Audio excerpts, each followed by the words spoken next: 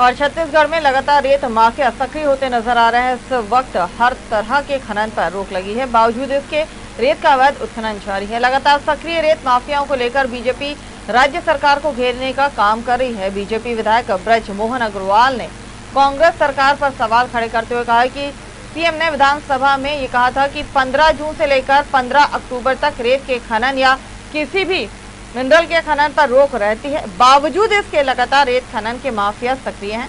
इधर कृषि मंत्री रविंद्र चौबे का कहना है कि सरकार अवैध उत्खनन को रोकने के लिए सक्रिय है। अवैध उत्खनन होगा तो गाड़ियाँ भी जब्त की जाएँगी। स्वयं मुख्यमंत्री जी ने विधानसभा में कहा था कि 15 जून से लेकर 15 अक्टूबर तक एनजीटी की तरफ़ से रेत के खनन या किसी भी मिनरल के खनन के ऊपर में रोक रहती है।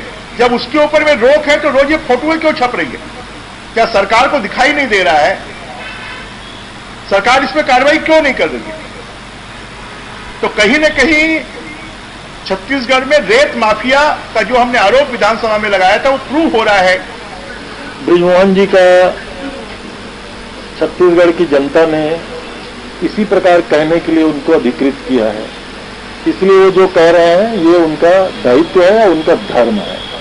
और आप ही ने प्रश्न किया और उत्तर भी आप ही ने दे दिया कि मुंगेली में हाईवा और गाड़ियाँ पकड़ी गई।